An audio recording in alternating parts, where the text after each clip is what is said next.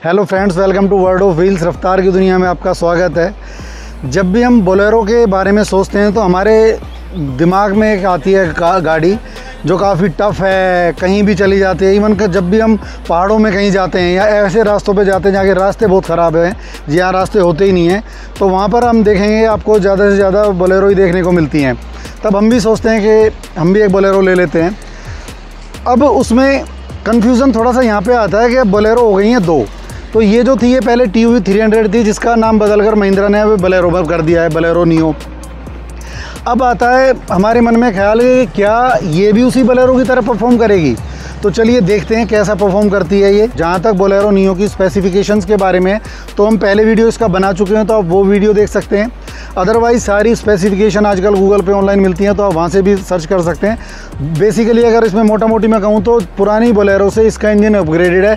थोड़ा बी का फ़र्क है 25 फाइव बी के आसपास इसमें आपको एक्स्ट्रा पावर मिलती है। सस्पेंशन भी इसकी बेटर है उस बोलेरो से। तो टेक्निकली तो ये उससे ज़्यादा अच्छा परफॉर्म करना चाहिए। करती भी है कुछ हद तक। तो चलिए चलते हैं और देखते हैं इसे up hill down hill off road किस तरह का ये परफॉर्म करती है।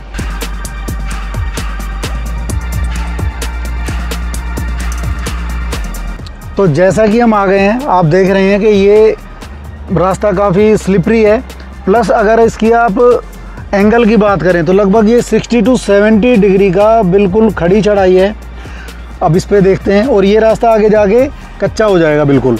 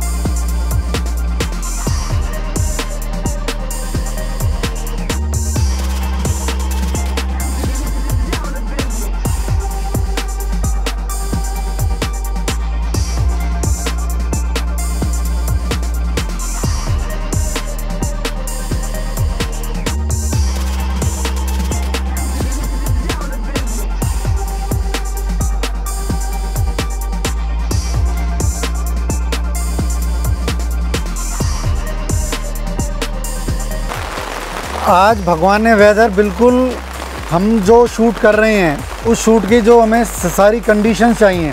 कंडीशंस आज की बिल्कुल एक्यूरेट हैं, जिस तरह की हमें चाहिए थी आज के शूट के लिए।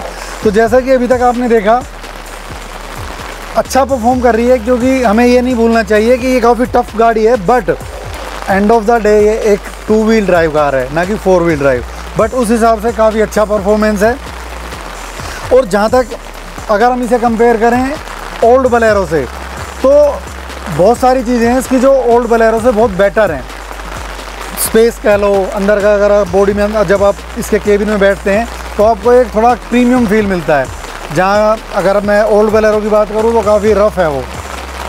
जैसा कि हमें अभी प्लान कर रहे थे, अगर मैं ईसुजू डी मैक्स या बहुत बड़ी जो गाड़ियाँ होती हैं, उनकी बात करूँ तो उनसे ये जो छोटी हैं, थार हो गई या जो सब फोर मीटर एस में आते हैं छोटे वो हमेशा अच्छा परफॉर्म करते हैं शार्प टर्न पे। और ये टू व्हील ड्राइव होते हुए भी काफ़ी अच्छा परफॉर्म कर रही है। जैसे कि हमने देखा शार्प टर्न बहुत अच्छे से लेती है।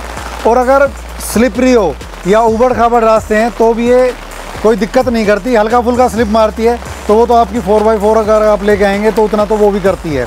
जैसा कि मैंने बताया उबड़ खाबड़ अगर रास्ते हैं, रास्ते ख़राब हैं तो इसका जो फील आता है, वो ऐसा आता है जैसे बादलों पे चल रही हो।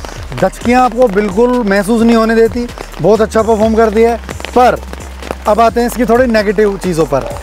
आप ये अलॉयज़ देख रहे हैं, ये बिल्कुल मैंने क्लीन किए थे, सिर्फ़ 500 किलोमीटर अब ये चली है, और जो इसके डिस्क पैड हैं, इतना ज़्यादा रस्ट छोड़ रहे हैं ये पूरे काले हो चुके हैं। तो ये बेसिकली क्वालिटी बहुत ख़राब है डिस्क पैड की, और जहाँ तक बात करें वैल्यू फॉर मनी की तो वैल्यू फॉर मनी कार मैं बोलूँगा, क्योंकि इस प्राइस रेंज में हमें और कोई company rear wheel drive proper ladder chassis पे बनी हुई गाड़ी और काफ़ी टफ गाड़ी है। इवन मेरे पास एक अभी कमेंट आया था कि उन्होंने एक्स यू का डोर क्लोज़ किया होगा तो वो डोर काफ़ी एक बल्कि फील दे रहा था बट बलेरोनियों का डोर उतना बल्कि फील नहीं देता।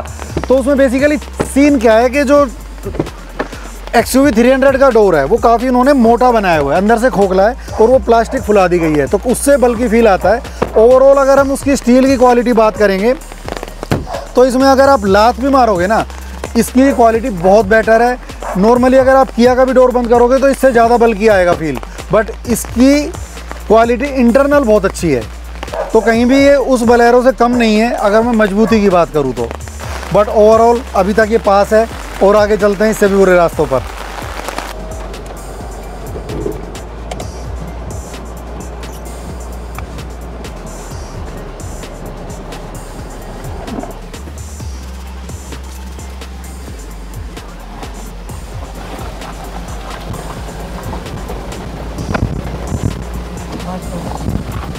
तो जैसा कि आप डाउन हिल में देख रहे हैं, अगर हम फ़र्स्ट गियर लगा के रखते हैं, तब तो बहुत ही स्मूथ है।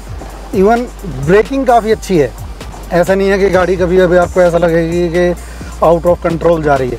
और जहाँ तक कि मैं हिल स्पेस की बॉडी रोल की बात करूँ तो अगर आप स्कॉर्पियो ड्राइव करते हैं और अगर आप ये ड्राइव करेंगे बेलेरो एन तो स्कॉर्पियो से इसमें बॉडी रोल कम है। हाँ अगर मैं अपनी किया से कंपेयर करूँ या किसी सेडान कार से तो इसमें कहीं ज़्यादा बॉडी रोल है। But as per comparison to Scorpio से बेटर कम बॉडी रोल है इसमें।